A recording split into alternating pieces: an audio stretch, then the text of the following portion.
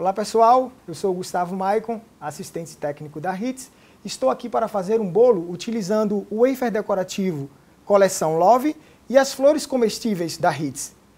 Então, para esse bolo já temos aqui um bolo coberto com beta-creme sabor nata, certo? Vamos utilizar também a ganache de chocolate branco, a qual eu coloquei aqui em um recipiente, e vamos levar ao micro-ondas por 30 segundos. Para chegarmos à cor do bolo, iremos utilizar o corante para chocolate cor azul e a cor rosa. Vamos levar para o micro-ondas por 10 segundos. Vamos colocar o corante rosa na ganache, um pouco mais do que o corante azul, para chegarmos à cor do bolo. Depois de aplicado, vamos misturar para deixar a cor uniforme.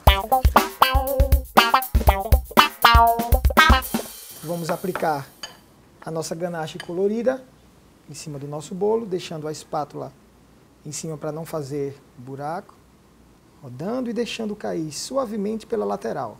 Depois do bolo banhado, iremos levá-lo para refrigeração durante 5 minutinhos. Dando sequência à nossa decoração, utilizando o wafer decorativo coleção Love, podemos aplicar a geleia de brilho Neutra Premium ou não. Nesta opção, não vamos usar. Vamos colocar o wafer decorativo sobre o bolo. Ah, o legal é que esse wafer decorativo é 100% comestível. Vamos usar as rosas pequenas sortidas, também comestíveis, para fazer a decoração do nosso bolo. Para finalizarmos nossa decoração, vamos fazer pequenas bolinhas com beta creme nata no rodapé do bolo. É isso aí, pessoal. Está aqui o nosso bolo finalizado. Espero que tenham gostado e até a próxima.